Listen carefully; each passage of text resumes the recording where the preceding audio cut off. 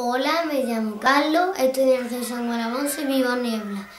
Quiero recomendar este libro que se titula Este pícaro mundo.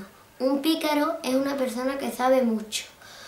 Este libro tiene 17 dentro, sobre distintos países, regiones, pueblos que seguro, que seguro que no conoceréis.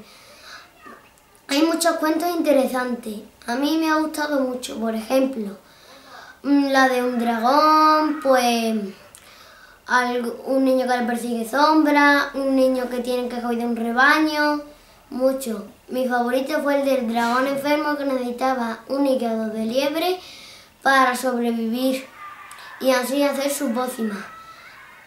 Este libro fantástico y yo lo quiero recomendar. Adiós.